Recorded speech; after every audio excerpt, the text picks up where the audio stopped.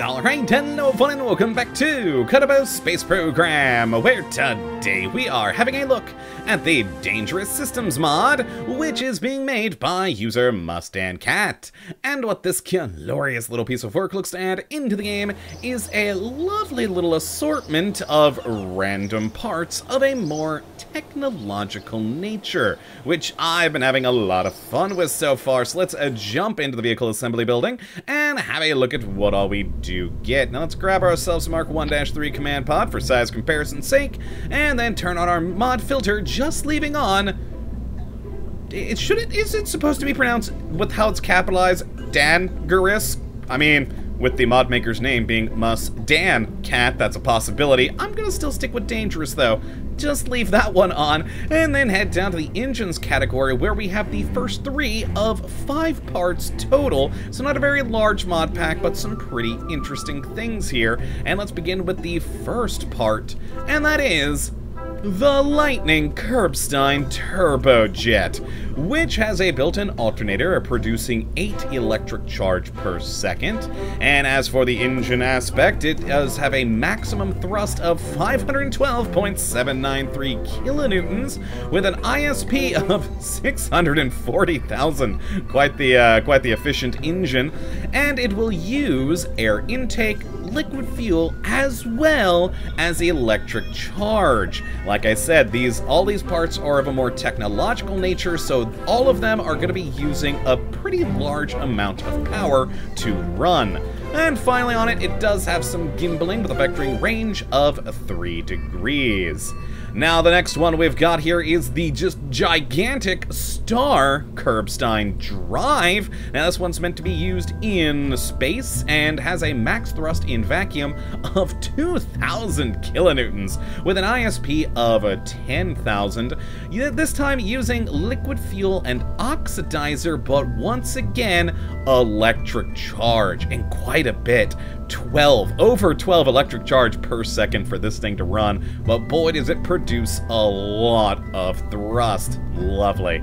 Now the next and final engine we have is the Thunder Kerbstein rocket nozzle, which will produce a much smaller amount of thrust than the last engine at just a hundred, with an engine ISP of 8,000, and using liquid fuel and oxidizer once again, as well as, of course, electric charge.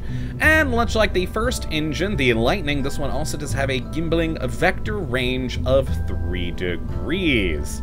Now, moving on down to the communication category, we have an awesome Sphere Long Range ComScan Antenna. I really like this thing. Not only is it a cool, unique looking antenna, you don't normally see these kinds in the game, uh, but it's a data transmitter, of course, both for direct data transmission as well as relay data transmission, which is very good. It, of course, does have KerbNet access and does also serve as an orbital scanner, which is wonderful. So it's kind of an all in one thing here, both communication and science, which is magnificent.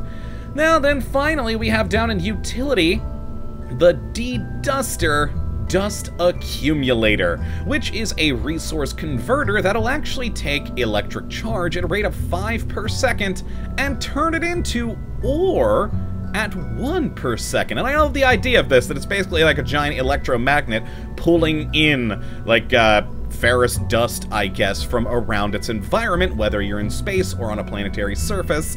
So just gathering it all together to turn it into ore which is pretty cool. So let's take a look at these all in, in well, I guess the actual VAB here. I don't know where I was going at that sentence. Starting with the D-Duster, and it's a pretty cool little thing. I, again, I love this idea of just like a powerful electromagnet sucking in magnetically charged dust around it and accumulating it into actual ore. And plus, it's a pretty cool looking part. My one little complaint about it is it has kind of a cool shape to it. As you can see here, it's, you know, a bit more irregular than most parts, but when it radially attaches to a vessel, oh boy, there we go, it pretty much sits flat on. Where I would have preferred it to be a bit more with its model, you'd think it'd be a bit more angled off to the side, but that's just a minor little complaint. Now, let's head back up to communications and pop on the sphere. And I love this little antenna here. It is pretty darn cool. Again, we don't see many antennas like this. In fact, I can't think of a mod I've looked at in the past that had something shaped like this. You usually get actual antennae or dishes, arrays, and things of that variety. So having a sphere and a very well put together one too. Very nice on the modeling and texturing on this thing. It's it's just a cool, unique thing. And having both that relay and direct transmission, along with being an orbital surveyor scanner, is pretty darn cool. Now let's head back up to the engines category and take a look at, um, well, we'll pop this off for now, which uh, this actually also can be attached radially, radially, there we are, and not just via the node. And let's pop on the smallest of the three engines here, which is the Tunder? I'm wondering if that's supposed to be Thunder and they missed the H. Hmm. Well, yeah, pop that on. You can see it is a just pretty tiny little engine, but very well made, very nice on the modeling and texturing there. And this one of the three can be placed radially quite nicely, so you can pop that wherever you want. And then in sort of the middle-sized one of the Lightning, well, that one is definitely meant to be attached by a node. As you can see there, we couldn't attach it radially, but we pop it up there. Again, very nicely detailed on the modeling and texturing on this thing. It is a pretty cool looking engine. And what I especially love about all three of the engines, since they are electric in nature, uh, they all have that cool uh, blue particle effect, which I very much prefer. I, I just love the look of the typical ion engines in this game. They are pretty neat. And the final engine we've got, of course, being the Star. Ah, this thing's great. And gigantic. There it is. We have the Star Kerbstein Drive, which, oh boy, yeah, does use not so bad on the liquid fuel and oxidizer. 1.8 per second liquid fuel, 2.2 on the oxidizer, but 12 on the electrical charge, that is going to uh, drain your resources pretty quickly. So with all of these parts, you're gonna wanna make sure you've got a good electrical infrastructure on your vessel. Though, uh, Efficiency-wise, the Lightning is actually quite efficient, using barely any air intake, liquid fuel, and even barely any electric charge there. It overall will run pretty smoothly. Uh, the Thunder kind of being between the two. Still not as bad as, say, the Star in its efficiency-wise, especially on the electrical charge, but for what you're getting, thrust-wise, it actually does use a fair amount of things. But all in all, a pretty cool little set of engines. So let's pop on out of here and go over to the launch pad, where I do have all three engines ready to go so we can take a look at their particle effects. So let's go to my engine test craft here and take a look at, uh, first and foremost, the tiniest of them, the Thunder over here. Just just such a small, small little thing.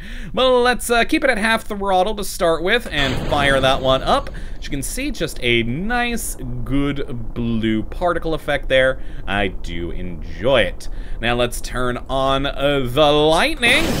Boom. Starting off pretty yellow there and orange, but then moving over to the blue. And I do like that you got a good combination of the two there where you kind of get this cool purplish effect in between the two particle effects, which is pretty nice. I do really like the look of that. And then finally with the star. And you can just tell even at half thrust how powerful that thing is. It shifted that whole section of the craft. And yeah, just a nice, uh, cool one there. Kind of similar to this one, particle effect-wise, but bigger. And uh, yeah, works quite nicely. And let's throttle this baby all the way up and you can see all of them getting larger, more powerful. This one producing quite a lot of light on the backside of the engine, which is pretty cool. I do quite like that. You can see how it's illuminating that whole section of the engine. Very cool indeed. And let's fire this thing on and watch it crash, because why not? Oh, yes, they all need that power that they were getting. yes, wonderful. Well, they've exploded. That was what I wanted. So let's go to the tracking station and go up into space, where I, of course, have our usual test craft up there, just to show kind of what you can do with this uh, down the road. Now, it's a pretty fast and dirty ship that was made pretty simply, but for its electrical needs, oh boy, yeah, you need a lot of power for things to function. But you know what? We've got the cool looking sphere long range com scan antennae there. We've got our fun dust accumulators. Let's actually uh, turn that thing on, start accumulating, and have it begin to fill our gigantic ore tank. So yeah, just a cool thing. It's not going to get you... Well, actually it is since it is one per second, it does get it pretty fast. Not as fast, of course, as, you know, the drills on a planet, but over time, you know, you can use this to help with your more long-range deep space missions so they don't run out of fuel on the way. You just gotta make sure that you uh, have plenty of electric charge, but thankfully, thankfully this ship does have plenty of solar panels. And yeah, just watch it go along, which is pretty cool. And of course, with the just amazing star engine, I really do like that thing. We can venture off into the void with infinite fuel over here, plenty of power from our solar panels, and go around to planets scanning them with our glorious little sphere. But yeah, that's really all there is to talk about with this lovely mod. The DanGerous Systems is a pretty interesting little selection of assorted parts that I've definitely found myself enjoying. So if you'd like to take a look at it for yourself, which I'd certainly recommend you go and do, you can have a look at the link in the description as per usual. But that, my friends, is going to be it for this one today. Hopefully you all have enjoyed, and you do come back for the next one. Hopefully we'll be looking at yet another wonderful mod. But until that time, thank you for watching, and as always, have a good one. Now, I'm just going to put this thing into an uncontrollable spin. Later.